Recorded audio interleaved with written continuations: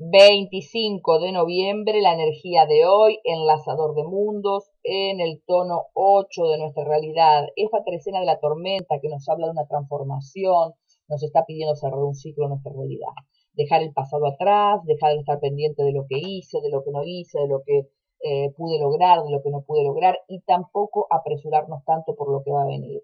Nos conecta con el aquí y el ahora, nos conecta con el disfrute, nos hace desapegar de personas y de cosas materiales, habla de un ciclo que se cierra para comenzar un nuevo ciclo y también es la energía de la conexión de la tercera dimensión de conciencia con la cuarta de los vivos de los muertos, muy perceptivos, muy intuitivos, tratando de encontrar un equilibrio.